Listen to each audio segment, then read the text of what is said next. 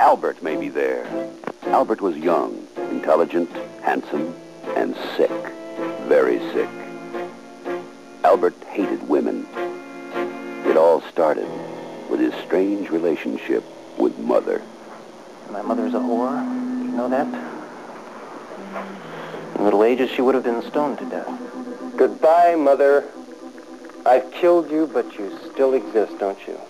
These women trusted Albert. They shouldn't have. The nurse took away his only pleasure. The night lady, all she wanted was money.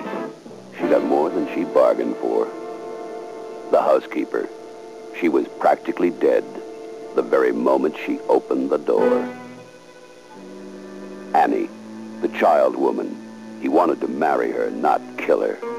No, no, we don't know nothing except this guy, uh, he guards him up real good, you know?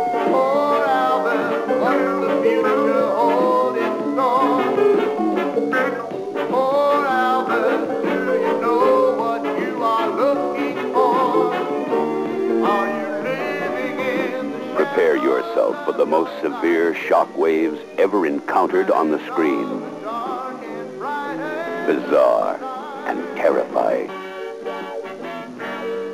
Poor Albert. And little Annie. Just like, just like all the rest! Albert wanted so desperately to love. Why was it that his love always ended in murder? The deadliest nightmare of them all